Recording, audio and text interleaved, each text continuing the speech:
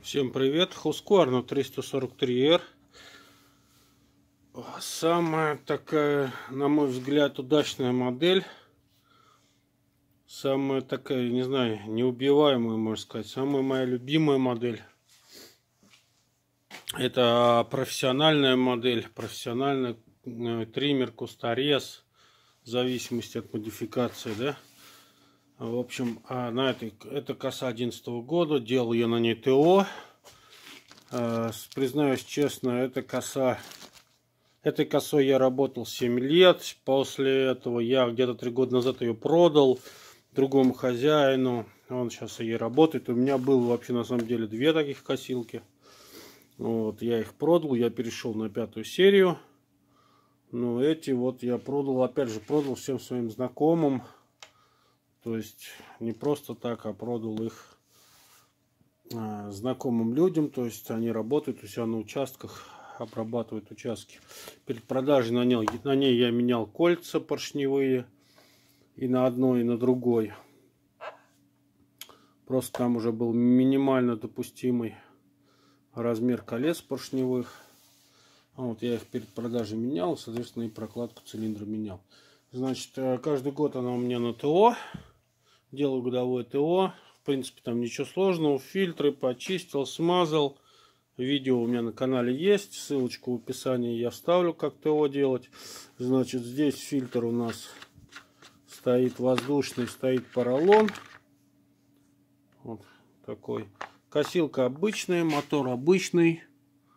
Ну, так сказать, аналог FS 450. Только там 2,1 киловатт, а здесь 2 киловатта мощности. Так, в принципе, все одинаково. Значит, э, вот до сюда, вот эта вся часть подходит к 545 RX.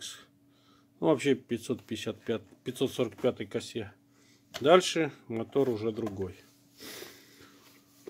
Так, в этот раз делаю ТО, столкнулся с таким штукой. Сейчас я фотки вставлю. В общем, пришлось заменить сальник. Один сальник заменил, он травил. На ней плавали холостые обороты, причем они плавали, они заводишь, они работают нормально. После того, как коса прогревается. А, и, э, то есть, после того, как она поработал, прогрелась, они начинают плавать обороты вверх, вниз. Точнее, газ бросаешь, они повышены, повышены, повышены, и потом медленно сбавляются на норму. В общем, разобрал, а, посмотрел, снял маховик, проверил сальники. В общем, вот сальник. Сейчас фотографии я вставлю, покажу там.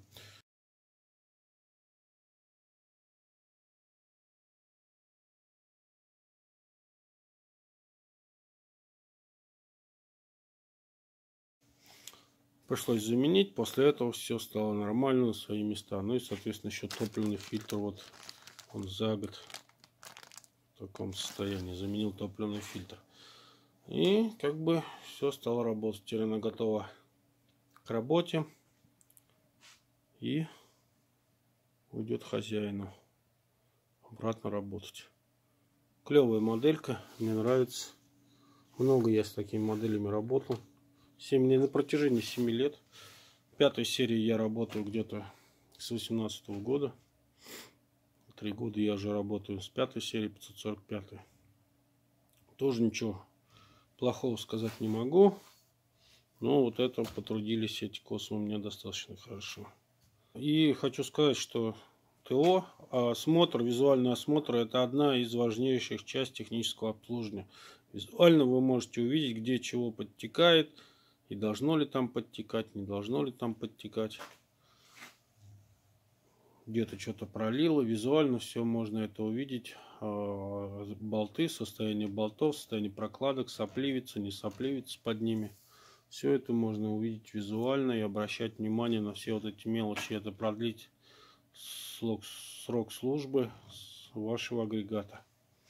Ну, то есть ваши косилки, там бензопилы. Ну и, соответственно, немаловажную деталь содержать в чистоте. Всем пока. Пишите комментарии. Обязательно отвечу.